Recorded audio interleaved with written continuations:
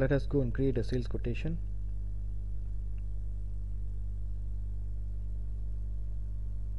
Let me show you from the beginning. It is under SAP manual logistics sales and distribution sales quotation. Click on create. So something about these uh, document types. You can make use of the existing document types which is readily av available but if you want to create a new document type for sales quotation you can create it as well. Let's take a look at what this document type can offer us. Press F1 on the sales quotation field and click on this customizing. Continue without specifying project.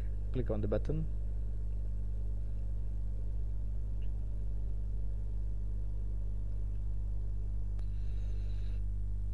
okay now I need to go to basic master data to see here.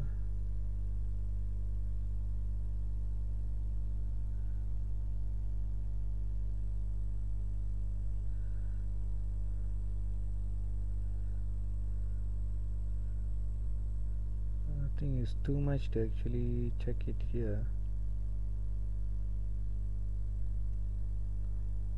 define sales document types. Yeah this is the one I was looking for. Double click on this. So if you understand if you want to understand the menu path it is under sales distribution. Sales sales documents sales document header define sales document types. Go in here.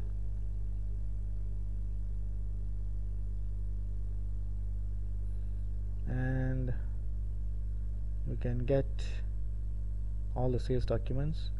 QT is the one that I selected just now. Double click on it. So these are the fields that you can uh, assign for each and every document type. Not necessarily that we need to go through each and every fields that are available here. QT is actually a standard uh, sales document type already delivered for quotation if you click on the sales document category you will get a list of uh, sales document category which is already been defined by the system. So since this is quotation we have to default it with quotation. If a sales order we need default it with sales order and so forth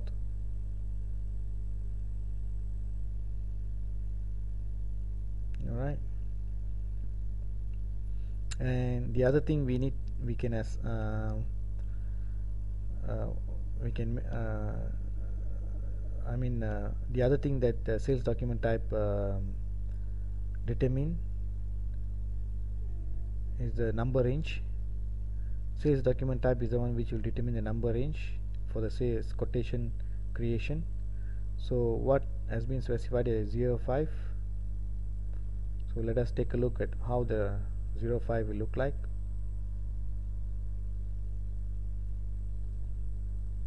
Let me show you where to define the number range. See this? Define number ranges for sales documents. And just look for 05 05 is over here. So the last sales quotation number which is created is 200014 and if I create one more sales quotation 20000115 will be created. So this is a number range which we'll be using. You can define your own number range if you want to.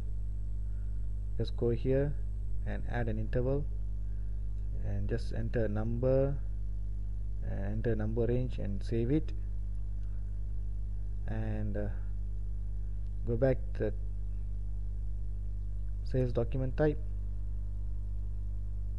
and change this number range to the new number range that you have created which is 38 so that's how we can assign a number range. And let me see what other information. This is item number increment. In the sales document uh, grid we can specify how the item number to, to be incremented whether it's 1 2 3 4 or 10 20 and things like that. So if I specify 10 here it will be incrementing by 10 20 30 and so forth.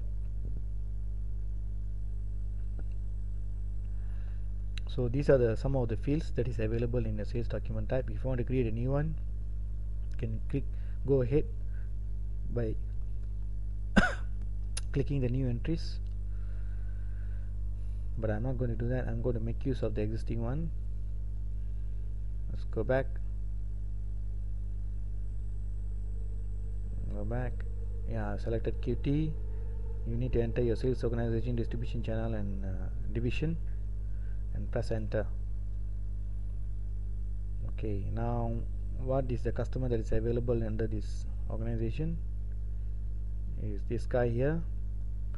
Choose it and press enter. And the sold to party and ship to party is auto loaded now I can enter material sales material. Let me just go to sales tab.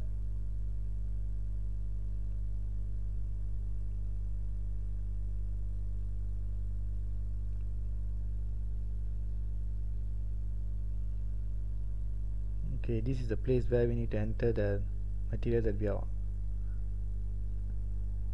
the customer has ordered let's go by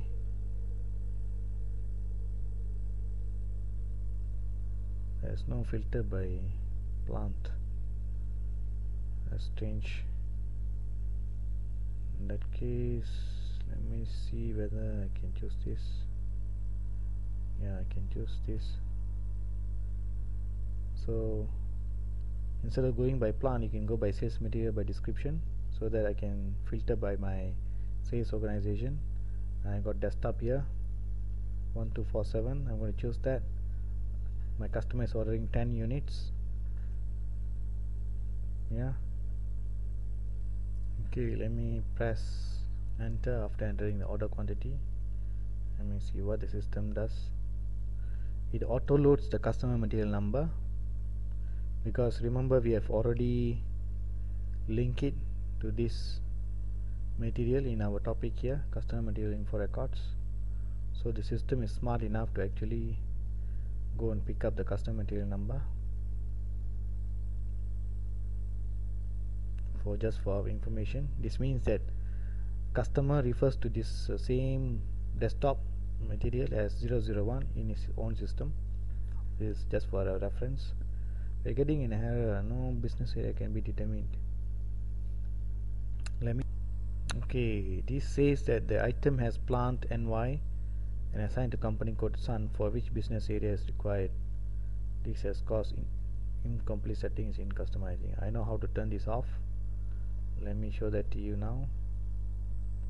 Just open up a session go to SPRO go and look for the company code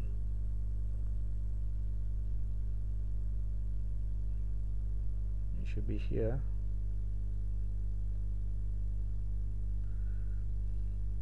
Sun. Double click on it. Yeah. See this setting here? Business area financial statement. Just turn it off. And save it. And I think this should turn off that error message. Let me double check. Press enter once again. Okay I think we need to refresh it go back. Create. Enter. Choose our customer. Press enter once. Go to sales tab. Choose the material. We can also enter the material in this item overview. It, it will be the same. Once you if you enter the items in this tab your sales. It will also be loaded in the item overview as well. So there's no difference. It's just my choice to actually use this sales tab to enter the information. Press enter. See? That business area error message has cleared. But now we are getting another error. Condition VPRS error in converting exchange rate from to USD what it says what is my order currency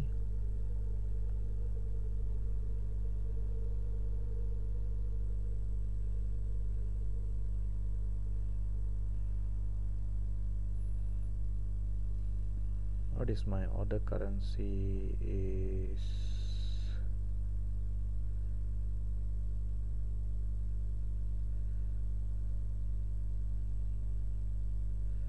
let me go to item overview.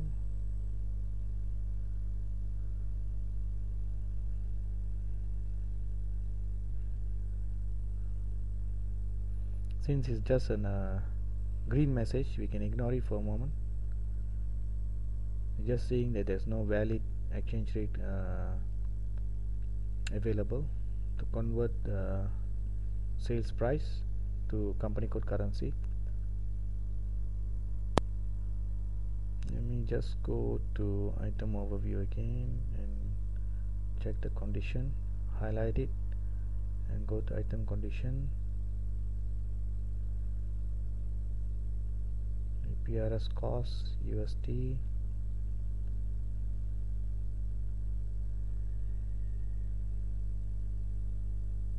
because I have not set up um, price for this material yet.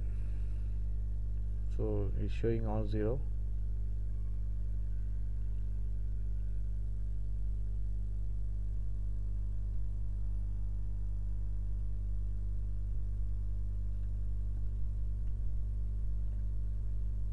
Okay let me try to find a way out to actually assign some um,